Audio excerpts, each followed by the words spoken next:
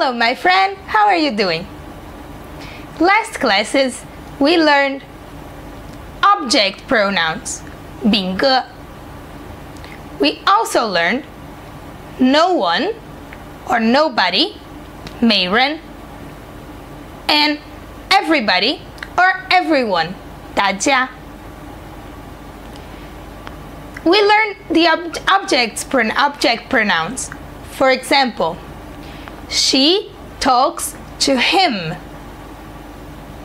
I talk to you. You talk to me. They talk to us. We talk to them. So, I, me. You, you. He, him. She, her. It, it. We, us. They, them. Now, I will read you a text. Pay attention. This text talks about object pronouns, music, and also no one, nobody, everyone, and everybody.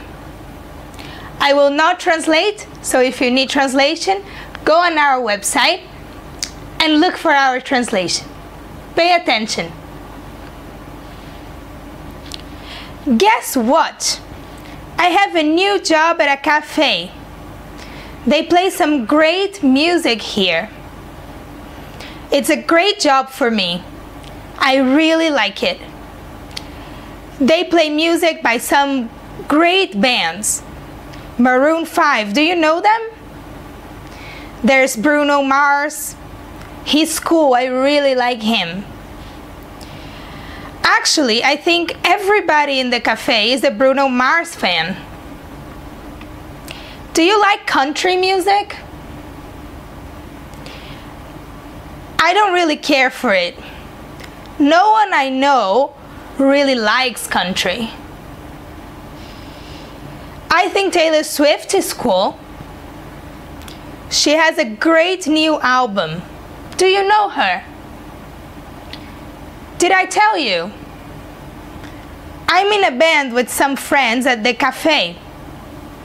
They are really great. I want to meet them. I want you to meet them.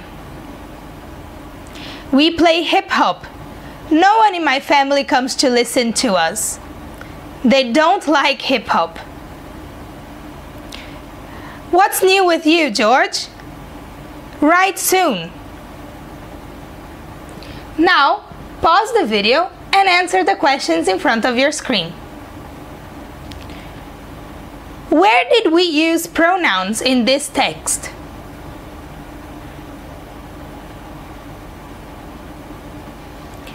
How many different music styles Sam mentioned in this text?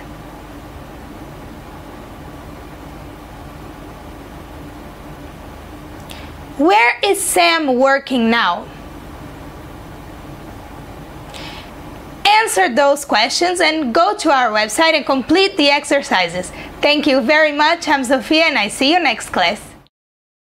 Today we learn another conversation strategy, 谈话技巧.